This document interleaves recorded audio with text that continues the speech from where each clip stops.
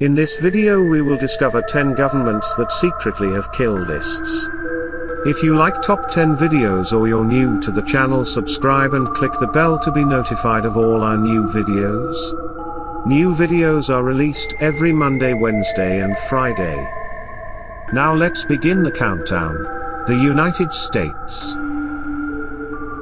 The US government has a not so secret hit list, the disposition matrix, that contains the names, locations, and preferred methods of killing people the government considers enemies of the United States. While the existence of the list is an open secret, the names on it aren't. At the time that Barack Obama was president, the government decided who got on the list during weekly meetings the press called Terror Tuesday. Obama only approved the list. The names were added by US military and intelligence officials and, sometimes, the British government. Once names were approved, the military and the CIA tracked the suspects and killed them with drone-launched missiles or covert special forces assaults.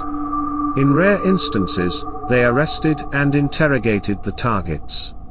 Most were suspected jihadists in Pakistan, Yemen, and Somalia. The disposition matrix has been criticized because it supposedly contains names of people who might not be terrorists. Drone strikes also kill lots of civilians. Between 2001 and 2013, over 400 Pakistanis died due to 330 US drone strikes. Nevertheless, the US government denies that the disposition matrix is a kill list. The government insists that the matrix is merely a form of defense against people threatening the US. China? Whether China has an active hit list is unconfirmed. But it did in 2010 when its Ministry of State Security killed over 30 CIA spies operating in the country. The killings started in 2010 when the Ministry of State Security, China's equivalent of the CIA, infiltrated a CIA spy network operating in China. At the time, the CIA was using some low-key tech for communication. It was unencrypted, and CIA spies were even using regular laptops and desktops for communication. The system was originally intended for Middle Eastern countries with weak counterintelligence capabilities.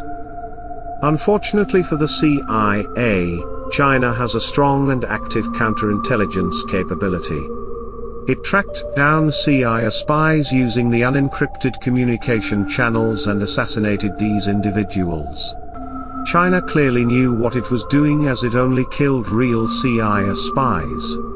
Although 30 were confirmed dead, intelligence officers believe the figures is higher. Britain the British government has its own kill list. Interestingly, most of the targets are British citizens. A few years ago, the British intelligence agencies, MI5, MI6, and the Government Communications Headquarters, drafted a list containing the names of 200 British citizens who had joined the Islamic State.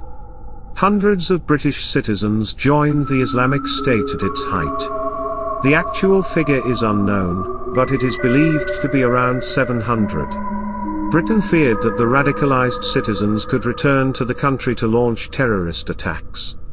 So it settled on assassinating the top 200, including 12 bomb experts. The intelligence agencies passed the list to Special Air Service commandos inserted into Iraq's territory.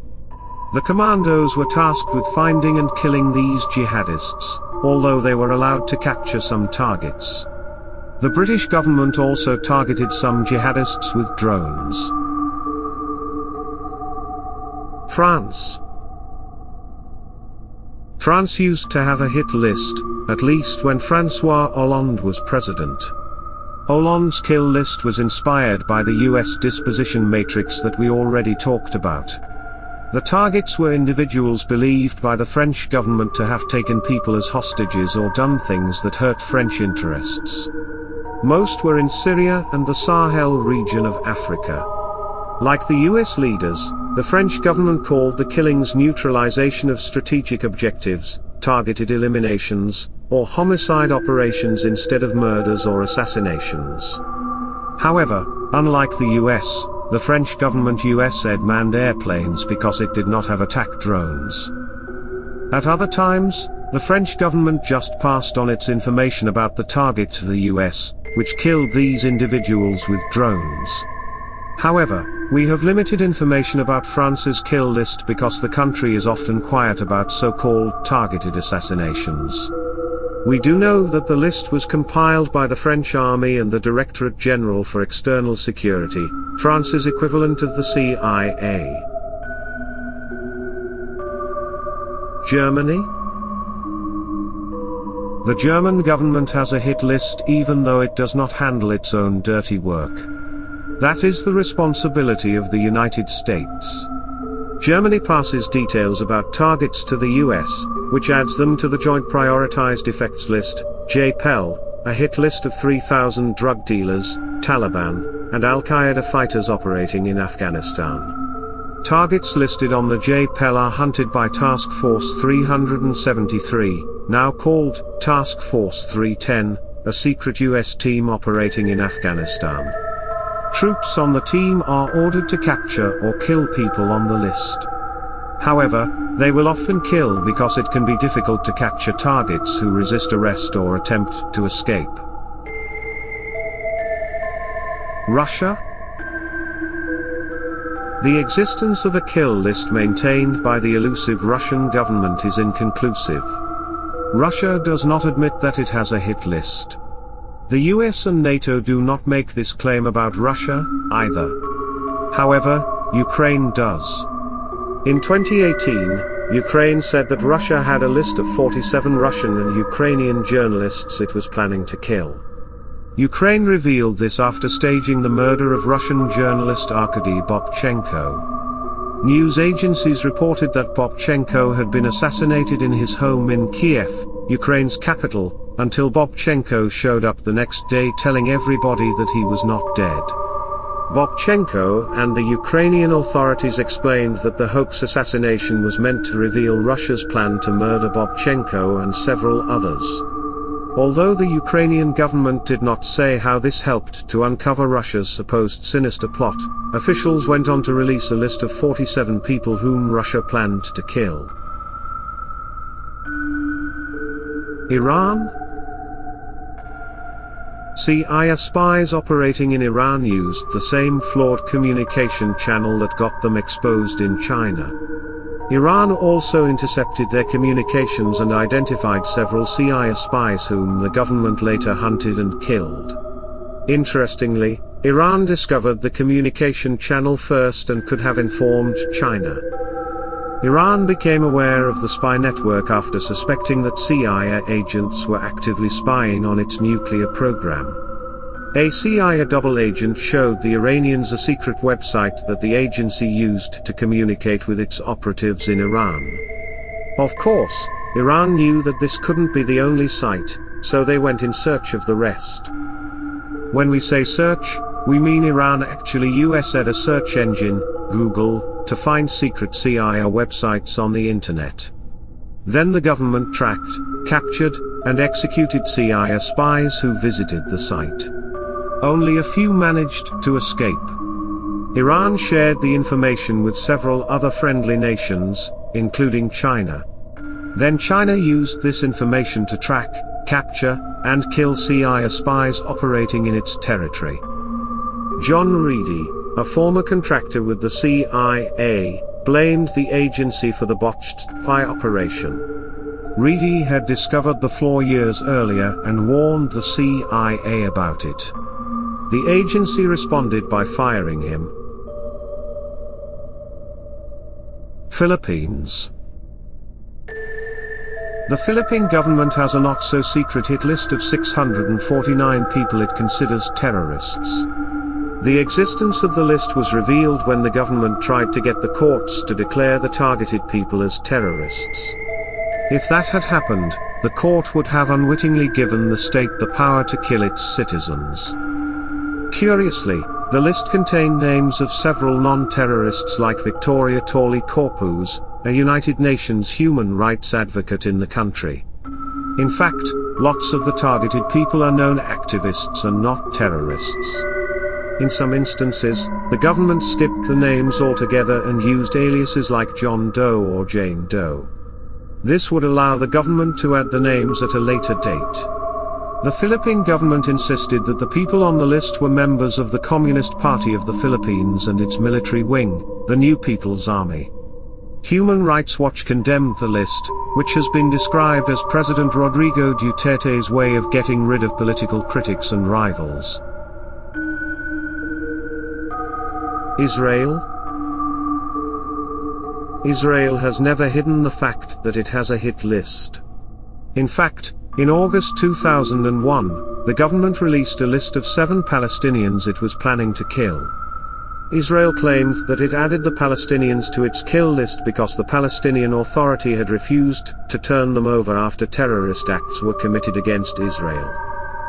Other agencies suspect that the released hit list was a PR attempt by Israel. The country may have wanted to prove to the world that it only killed Palestinians when they refused to cooperate. The move was also a psychological attempt to force the men to flee and desist from launching further attacks against Israel. The country USS different ways to neutralize the targets on its list. Two common methods are snipers and helicopter-launched missiles. Less orthodox strategies include strapping bombs to the telephones of the targets. Like almost every other nation, Israel does not call the killings assassinations. It calls them targeted killings. Palestinians are often the victims of Israel's so-called targeted killings.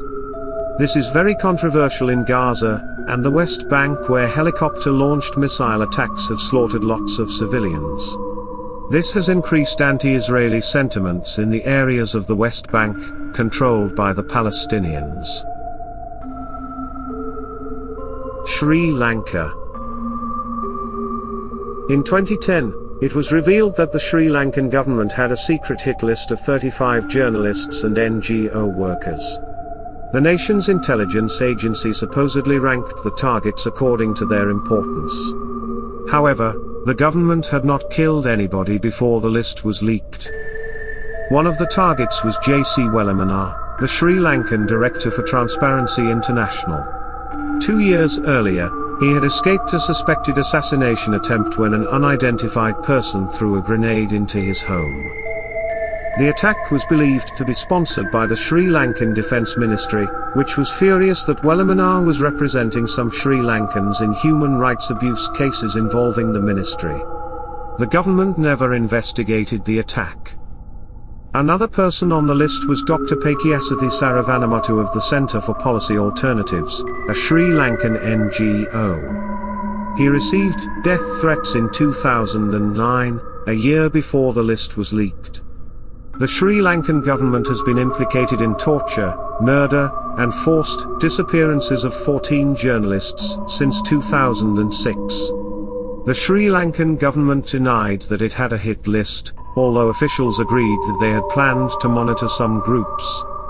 Amnesty International said that the Sri Lankan government had compiled and deliberately released the list to intimidate NGO workers and journalists in the country. Do you agree with our picks? Check out some of our other videos and be sure to subscribe and ring the bell to be notified about our latest videos.